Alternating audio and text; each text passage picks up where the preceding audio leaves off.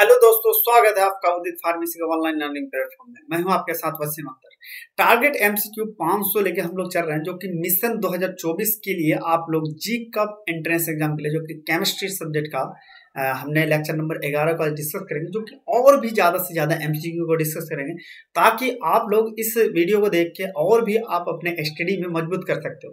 देखो, बहुत ही कम टाइम बचा है तो आपको कोशिश करना है कि आप थ्योरी के साथ साथ MCQ भी प्रैक्टिस करें। देखिए थ्योरी पढ़ने से क्या होता है कि आप चीज़ों को सही तरीके से आप आंसर दे सकते हैं। सिर्फ़ अगर एम सी पढ़ के जाएँगे तो वहाँ पर क्या है कि आपको ये गारंटी नहीं कर सकते कि एमसीक्यू इस तरह से पूछेगा। क्या करेगा? आपको ऐसा है कि आपको ऑप्शन के ऊपर दे दे और नीचे पूछ ले। तो इसलिए सबसे पहले आप थ्योरी पढ़ें, उसके बाद ही मेरा सेशन यही है कि पहले आप थ्योरी पढ़ो, उसके बाद आप एमसीक्यू को इजली से करो। एमसीक्यू क्या करेगा आपको कि टाइम मैनेजमेंट करने में टाइम मिलेगा। रीजन क्या है? अगर एमसीक्यू ज़्यादा से ज़्यादा प्रैक्टिस करेंगे, आज देखेंगे, आज के लेक्चर में कि देखना कि ऐसे एमसीक्यू आएँगे तो दिमाग घुमा देगा। लेकिन वही चीज़ अगर आप प्रैक्टिस कर रहोगे तो वही से एमसीक्यू मिलेगा। इजिली से आप अंदाज़ा से अब सही आंसर लगा सकते हो। तो आज जो डिस्कस करेंगे हम मेनली मेटलर्जी एक आपका चैप्टर है, उनसे डिस्कस करें। इंपोर्टेंट एमसीक्यू देखें तो अल्मीनो तापी विधि अल्मोनियम कार्य करती है। मतलब किस तरह से कार्य करती है, इसका अगर देखें तो आंसर में, यहाँ दे ऑक्सीकरण की तरह से। नहीं, गलंग की तरफ़ से उपचायक की तरफ़ से या धातु मिल की तरफ़ से। इसका आंसर अगर देखें तो उपचायक की तरह से यहाँ पे काम करती यही चीज़ अगर आप थ्योरी में पढ़ते तो इजीली से आप आंसर दे सकते हैं। देखिए, फिर आता है केलामाइन। केलामाइन आपको पता ये ये क्या है? एक तरह का आयस कहती है। इसमें पूछ रहा है कि केलामाइन क्या है? ये आयस क्या है? लेकिन इसका फॉर्मूला क्या है? इसका आंसर अगर बात करें जेड एन एस तो है नहीं तो इसका है जिंक कार्बन ऑक्साइड इसका अगर केलामाइन की अगर बात करें तो ये है इससे हम क्या करते हैं? आपको मैंने थ्योरी में अगर आप ऐप पे जाकर पढ़ेंगे तो उसमें डिटेल में दिया हुआ कि इसका जेडन है, इसका आयस का दिया हुआ था और कौन कौन से मिश्रण है, वो चीज़ मैंने आपको बताया था। फिर आता है आपको समुद्र के अंदर भूपट्टी की औसत मोटाई क्या है? ये क्वेश्चन यहाँ देखिए, आप अगर प्रैक्टिस नहीं करेंगे तो इस तरह का क्वेश्चन ऐसे पूछ लेता क्योंकि लिथोस्पोर देखो, इस वाले चैप्टर में मेनली अगर थ्योरी में आपको बात करते क्या क्या पढ़ना चाहिए? आपको लिथोस्पोर पढ़ना चाहिए रॉक पढ़ना चाहिए मिनरल्स पढ़ना चाहिए आयस के बारे में पढ़ना चाहिए।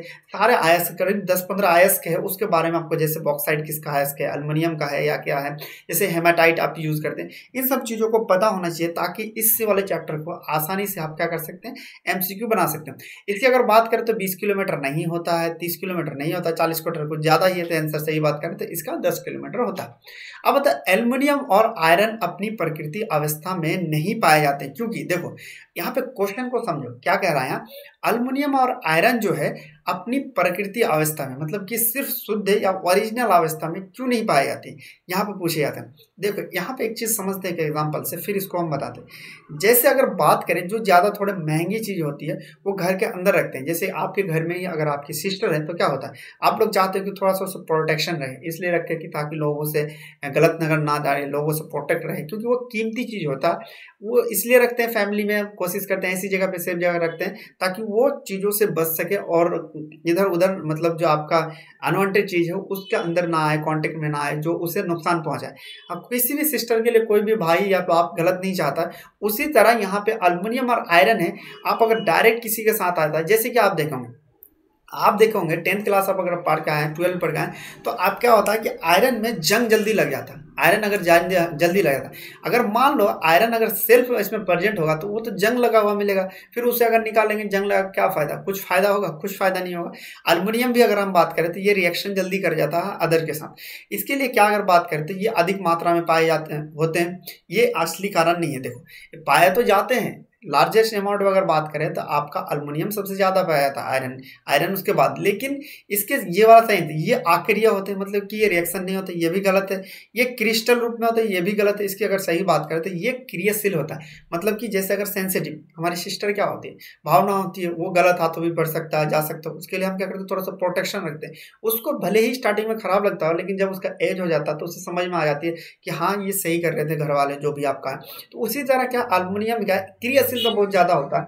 उसके कारण नेचर भी देखिए, कोई भी चीज़ अगर बनाया है, उसको सोच समझ के बनाया, आप समझ भी नहीं सकते। क्योंकि अल्मोनियम और आयरन को प्योरिस्ट फॉर्म में इसलिए नहीं दिया, क्योंकि वो अगर आएगा तो जल्दी रिएक्शन कर लेता है तो वो आपको ऑक्सीडेशन हो जाएगा, उसका खराब हो जाएगा, कोई फ़ायदा की बात नहीं रहेगी। तो इसके अगर बात करें आंसर तो ये बहुत ज़्यादा रिएक्टिव होते हैं, इसके कारण ये प्रकृति हमें पाए नहीं जाते हैं अवस्था में। अब आता है, जीवाश्म मुख्यतः, जीवाश्म मतलब ऑर्गेनिज्म, किन चट्टानों में पाया जाता है? अग्निय के बारे में बात करते हैं, यहाँ पे टेम्परेचर इतना होता है 400 से 500 के बारे में, कि यहाँ पे कोई जीवाश्म मतलब ऑर्गेनिज्म टिक ही नहीं रखता बिल्कुल डेट हो जाए। अगर बात करें परिवर्तित चट्टान, परिवर्तन तो हमेशा इधर से उधर, इधर से उधर हो जाता है। ये भी नहीं होगा, दानेदार चट्टान इसमें भी नहीं होगा, इसकी बात करें तो औषधि चट्टाने में आपको जीवाश्म पाए जाते हैं। फिर आता है सभी तथ्य, सही तथ्य का चयन कीजिए मतलब कि सही तथ्य कौन सा? सही तथ्य में इसमें एक चीज़ दिखा हुआ, मैंने आपको बता दूँ कि जितने भी अयस्क होते हैं, वो उसमें से खनिज निकलते हैं, लेकिन जितने भी खनिज है, उसमें से अयस्क नहीं निकलते यही क्वेश्चन पूछा। ये वाला क्वेश्चन देखना आपको मिलेगा फाइनली ये इंपॉर्टेंट है। क्यों? क्योंकि ये आपको हर चीज़ में है। देखो, यहाँ पे आपने पूछा गया कि सभी आयस्क खनिज होते हैं, बिल्कुल सही है। सभी खनिज आयस्क होते हैं, ये भी गलत है। खनिज आयस्क नहीं हो सकता, ये भी गलत है। एक आयस्क खनिज नहीं हो सकता, ये भी गलत है। सही आंसर की बात करें तो ये वाला इसका सही आंसर होगा। देखिए, वह पाक्रम प्रक्रम जिसमें अयस्क को वायु की अधिकता में उसके मल के नीचे गर्म किया जाता है उसे क्या कहते हैं? देखो, हम निस्तापन में क्या करते थे? निकाल देते थे। उपचार में रिडक्शन कर देते अवशोषण करते थे। ये आपका गलत होगा, ये भी नहीं होगा। हम क्या करते थे इसमें? देखो, वायु में कि जैसे कि इस वाले एग्ज़ाम्पल हम समझते हैं। जैसे एग्ज़ाम्पल में इस वाले विधि को समझते हैं, फिर इसका हम लगाएँगे क्या होता है? इस वाली विधि में हम क्या करते थे कि इस पेन में मान लो हम क्या करते हैं वाटर बिना दें मतलब पानी में डुबा दें, ठीक है?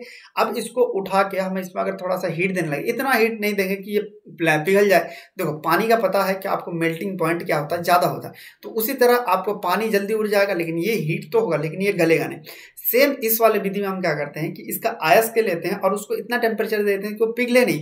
लेकिन उसमें जो गैस है, क्योंकि गैस जो है आपका बॉइलिंग पॉइंट या तो फिर कह लिए मेल्टिंग पर वो जल्दी इवेपोरेट हो जाता है और उड़ जाता है जल्दी एज कंपेयर टू सॉलिड तो इसमें हम क्या करते हैं कि आपको थोड़ा सा हीट देते हैं, जिसे हम वर्जन कहते हैं, इसका आंसर अगर देखें तो वर्जन होगा। अब फिर नेक्स्ट अगर बात करें कि इसी तरह अगर आप डिटेल में पढ़ना चाहते हैं थ्योरी के साथ, जैसे कि वर्जन है, मैंने आपको बताया, वहाँ पे थ्योरी में अगर पढ़ना चाहे तो उदित फार्मेसी के ऐप पे जाके पढ़ सकते हैं, जिसमें आपको मिलेगा रिकॉर्डेड लेक्चर रिकॉर्डेड लेक्चर पढ़ती है कि थ्योरी और एमसीक्यू मिलेगा, फिर ई पीडीएफ नोट्स मिलता है टॉपिक वाइज एमसीक्यू मिलेगा। टॉपिक वाइज जैसे एक टॉपिक पढ़ाया जाएगा, उससे एमसीक्यू मिलेगा। Model paper practice model paper जो पॉसिबल एमसीक्यू है, उससे प्रैक्टिस मिलेगा। फिर प्रीवियस जो प्रैक्टिस प्रीवियस मतलब कि जो पिछले 2023 में आपको जो क्वेश्चन पूछा गया, उससे कराया जाएगा। फिर प्रॉपर टाइम मैनेजमेंट बताया जाएगा कि किस तरह से टाइम मैनेजमेंट कर सकते हैं। इन द सेंस जैसे आपने थ्योरी बहुत ही अच्छे से पढ़ लिया, लेकिन एमसीक्यू में प्रैक्टिस नहीं करा आपने। तो वहाँ पे क्या होगा कि आप अपना स्पीड नहीं बढ़ पाएगा। इसके लिए आपको एमसीक्यू के साथ साथ आपको थ्योरी दोनों को लेना थ्योरी आपका माइंड में होना चाहिए और एमसीक्यू को फटाफट लगाना चाहिए। क्यों? देखो, अगर सिर्फ़ पास होना है तो सिर्फ़ एम सी एम कर लो, लेकिन अगर आपको अच्छा मार्क लाना है तो थ्योरी भी करना ज़रूरी पड़ेगा। क्योंकि थ्योरी देखो, ऐसा क्वेश्चन रहता है फिफ्टी परसेंट की नॉर्मल लोग कर ले और सही से पास हो। लेकिन ऐसा फिफ्टी परसेंट क्वेश्चन रहते हैं, ऐसे बच्चे कर पाते हैं जो थ्योरी उसका क्लियर है। तो आप यहाँ पे लेंगे तो ये सारी चीज़ मिलेगा। प्लस आपको लाइव क्लासेस मिल जाएगा। लाइव क्लासेस में जो भी डाउट होता है, बच्चों का क्वारी होता है, वो टीचर से पूछ सकते हैं। इसके लिए आपको क्या करना पड़ेगा? प्ले स्टोर पे जाएँगे, उदित फार्मेसी सर्च मारेंगे। उसके बाद आप अपना, यहाँ पे अपना नाम और अपना जी मेल डालेंगे स्टार्ट करेंगे। उसके बाद यहाँ पे स्टोर मिल जाएगा। स्टोर पे क्लिक करके आप खोजेंगे, क्या? एग्जिट एग्ज़ाम या तो फिर कह लीजिए, ओ सॉरी इंट्रेंस एग्ज़ाम या तो फिर जी का एग्ज़ाम आप देंगे तो आपको यहाँ पे मिल जाएगा। वहाँ पे परचेस करके आप पढ़ सकते हैं। वहाँ पे डिटेल में बढ़ाया ऐसा कुछ नहीं है, ज़्यादा दाम का नहीं है आपको। और कोई भी अगर आपको क्वारी हो तो इस वाले नंबर से आप पूछ सकते हैं। देखिए, और भी आगे जानते हैं, चलिए बढ़ते हैं। देखिए, धातु को उसके ऑक्साइड आयस के निष्करण करने के लिए साधारण मतलब प्रक्रम क्या है? मतलब साधारण प्रोसेस क्या है? साधारण प्रोसेस के लिए देखिए, यहाँ पे क्वेश्चन को समझे पहले। धातु को उसके ऑक्साइड आयस्क से मतलब धातु को उसके ऑक्साइड आयस्क के निष्कासित मतलब उससे निकालने के लिए। ऑक्साइड आयस से पूछ रहा, निकालने के लिए कौन सा साधारण प्रक्रिया करते हैं? मतलब साधारण कौन सा प्रोसेस यूज़ करते हैं? एल्यूमिनियम का करते हैं या हाइड्रोजन का करते हैं, विद्युत करते हैं? तो सिंपल सी बात करें तो ज़्यादातर हम कार्बन के द्वारा ही करते हैं। वह प्रकृति पदार्थ जिसमें धातु निष्कासन करना आर्थिक दृष्टि लाभदायक होता है, क्या कहलाता है? देखिए, यहाँ पे पूछ रहा है कि वह प्रकृति पदार्थ वही वैसा प्रकृति पदार्थ जिसे हम धातु को निकालते हैं, धातु को निषेधित करना आर्थिक जो है रूप से उसे क्या दृष्टि से लाभदायक है, उसे क्या कहते हैं? आर्थिक रूप इसको पहले समझ लें इसमें यह क्वेश्चन पूछ रहा कि कोई भी पदार्थ जिससे हम धातु निकालते हैं, निष्कासित करते हैं, लेकिन वो आर्थिक रूप से हमें लाभदायक होता है, वो क्या कहलाता है? एक बात बताओ, आर्थिक रूप से लाभदायक कैसे होगा? अगर हम लोहा निकालते हैं तो लोहा अगर मार्केट में बेचेंगे तो क्या होगा? हमारे लिए फ़ायदा होगा। फ़ायदा होगा कैसे? मतलब लोहा बेचेंगे, पैसे मिलेगा तो आर्थिक रूप से हम ऊपर बढ़ेंगे। इसका अगर बात करें तो खनिज होगा नहीं, गैंग आपको क्या कहते हैं? गैंग हम उसे कहते हैं जो आयस्क में व्यर्थ पदार्थ होता है। इसमें गलांक मतलब उसे कहते हैं जो आपको गैंग वो चीज़ गलन नहीं होता, बहुत सारी चीज़ ऐसा कि गलता नहीं है। उसको यूज़ करके गलांक यूज़ करके हम उसे गलन सिन बनाते हैं, उसका हम गलांक कहते हैं, इसका आंसर देखें तो ये आयस्क होता है, आयस्क से ही हम इसको निकालते हैं। जब धातु को उसके आयस्क से निष्कासित किया जाता है और आयस्क को आयस्क में उपस्थित गैंग सिलिका हो, आयस्क में उपस्थित गैंग सिलिका हो तो उसे हम क्या कहते हैं? देखो, आयस्क को निकासित करने के लिए हमने गैंग सिलिका, यहाँ पे एक चीज़ लिखा कि गैंग दो तरह के होते हैं।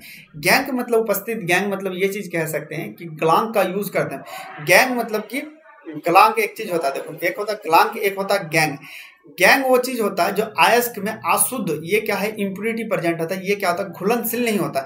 इसके लिए हम क्या करते हैं, ग्लांग का यूज़ करते हैं ताकि वो घुलनशील हो जाए और उसका आगे जो प्रोसेस है उसको हम कर सकते हैं।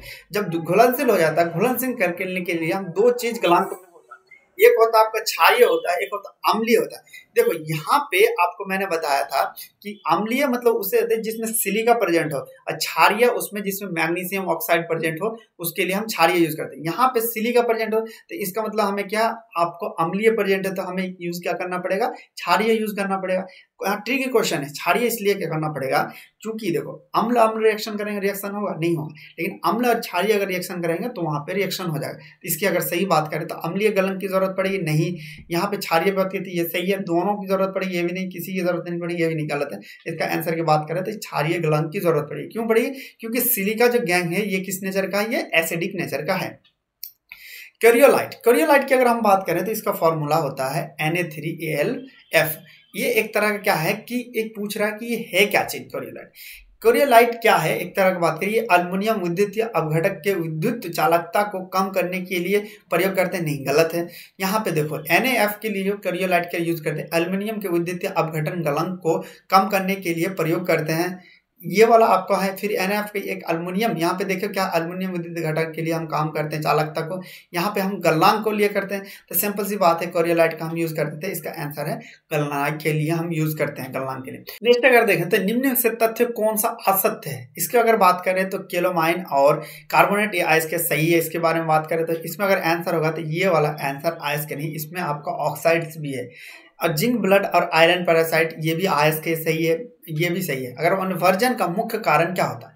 वर्जन मतलब कि अगर मैंने आपको पूछा गया ये ऑक्सीकरण करना या उपचयन करना ओटू का धातुमल बनाना, इसमें अगर बात करें तो ये भी नहीं है, ये भी नहीं है, ये भी नहीं देखो, मैंने पहले समझो, वर्जन का मतलब क्या करते हैं हम इसमें हीट देते हैं, इतना हीट देते हैं कि ये पिघले नहीं और इसमें जितना गैसेस सब्सटांस है, या तो फिर इवेपरेट हो गए ऑस्प हो गए निकल जाए। तो सिंपल सी बात है तो इसका अगर आंसर की बात करें तो क्या ऑस्प दर्व को दूर करने के लिए इसका यूज़ करते हैं। फिर आता इसका एक सही डायमाइनियम देखे तो इसका फॉर्मूला ये थी सी टू ओ थ्री को क्रोमियम बनाने में प्रयुक्त प्रक्रम है। कौन सा है? कौन सा कार्बन हम यूज़ करते हैं या कौन सा हम इसमें मैथड यूज़ करते हैं? इसमें बात करें तो एल्युमिनियम तापीय क्रम का यूज़ करते हैं। फिर आता है हेमेटाइट लोहा का प्राप्त करने में चूना पत्थर डालते हैं या कार्य करता है लोहा को हम देखिए हेमेटाइट क्या होता है कि लोहा में मतलब कि देखिए, जितने भी हम मेटल्स प्रेजेंट करते हैं या धातु को प्राप्त करते हैं, उसका अयस्क से करते हैं। अयस्क से हम डायरेक्ट पर्याप्त नहीं होता। उसके लिए हम बहुत सारे प्रोसेस करने पड़ते हैं, तब उससे निकलता है, एकदम प्योर फॉर्म निकलते हैं। प्योर भी नहीं, उसमें 98 से 97 तक ही होता है। हंड्रेड परसेंट तो प्योर आपको नहीं था कुछ ना कुछ उसमें मिक्सिंग रह जाता अगर प्योर फॉर्म में जाएँगे तो बहुत ज़्यादा वो महँगा पड़ जाएगा। इसके लिए हम क्या करते हैं, यहाँ पर देखें आपको मैंने बताया था कि चूना पत्थर हम इसमें डालते हैं। क्यों डालते हैं? क्यों डालते हैं? इसलिए डालते हैं कि वहाँ पे ऐसा आपको गलनांग का तरह यूज़ करते हैं ताकि वो जो आपको गैंग हो, gang G N G gang होता है गैंग वो सारी चीज़ होता है जो आयस्क में प्रजेंट होता व्यर्थ के तरह, वो घुलनशील नहीं होता। लेकिन हम इसको चूना पत्थर का यूज़ करके उसको हम घुलनशील बनाते हैं ताकि उससे हम आयरन इजिली से प्राप्त कर सकें। इसी तरह अगर आपको और भी एमसीक्यू जानना है या तो फिर आपको थ्योरी के साथ पढ़ना है तो उदित फार्मेसी के ऑनलाइन मतलब डेटबिट की ऐप पे जाके आप पढ़ सकते हैं। आई होप ये लेक्चर आपके लिए हेल्पफुल होगा नेक्स्ट लेक्चर में मिलते हैं। तब तक के लिए बाय बाय टेक केयर